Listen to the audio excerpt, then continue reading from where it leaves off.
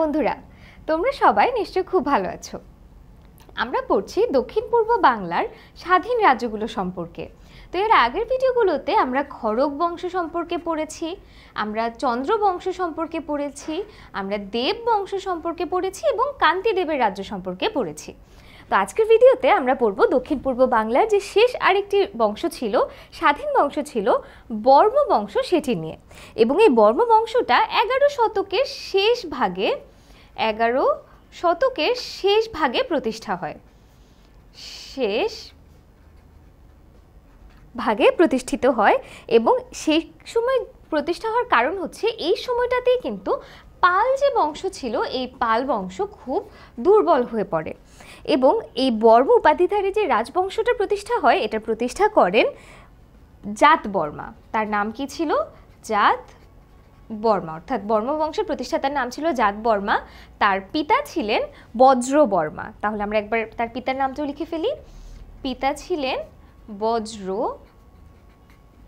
বর্মা। তাহলে জাত বর্মার পিতা ছিলেন বজ্র বর্মা এবং এই জাত বর্মাই এগারো শতকের শেষ ভাগে এই বর্ম বংশের বর্ম রাজবংশের প্রতিষ্ঠা করেন।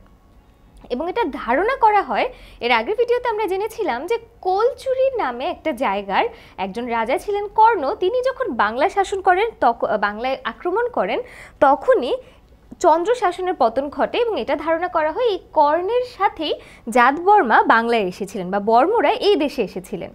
এবং তিনি ছিলেন কলচুরি রাজ্যে গাঙ্গেয় দেব এবং কর্ণ, অর্থাৎ কলচুরির দুই সময়ের দুজন রাজা, এই দুজন রাজার সামন্ত রাজ ছিলেন তিনি।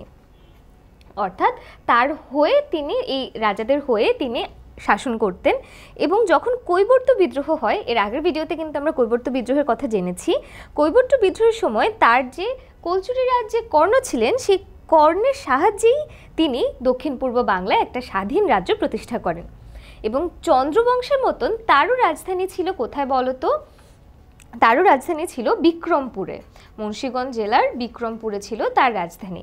এবং তার যে রাজত্বকাল ছিল, সেটা ছিল বর্মদের রাজধানী ছিল। এবং জাত বর্মার পরে সিংহাসনে বসেন তার ছেলে হরিবর্মা তাহলে এই হরিবর্মার রাজত্বকাল ছিল কত? ছেচল্লিশ বছর।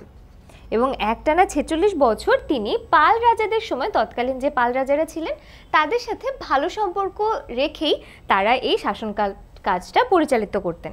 এবং সবচেয়ে ইন্টারেস্টিং একটা তথ্য আছে যেটা তোমাদের মনে রাখতে হবে, এই যে কোলচুরির যে রাজা ছিলেন কর্ণ, এই কর্ণের কন্যাকে বিয়ে করেছিলেন জাত বর্মা। তাই কলচুরি রাজ কর্ণ ছিলেন কে? জাত বর্মার শ্বশুর। আর বর্মা বংশের যে ধারাটা সেটা আমরা একবার লিখে নিই, চলো।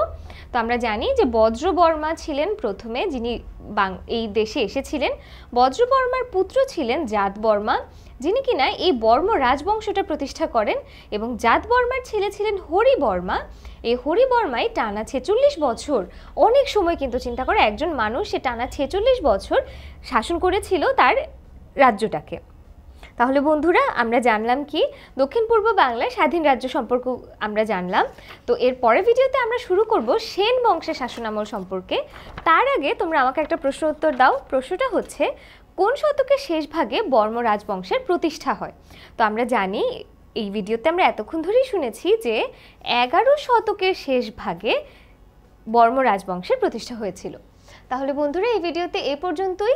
এর পরের ভিডিওতে আমরা পড়ব সেন বংশ কীভাবে এলো এবং আমরা কিন্তু জানি যে প্রাচীন বাংলার যে শেষ গুরুত্বপূর্ণ রাজবংশ ছিল, সেটাই ছিল সেন বংশ। তাহলে পরের ভিডিওতে জানব সেন বংশ সম্পর্কে।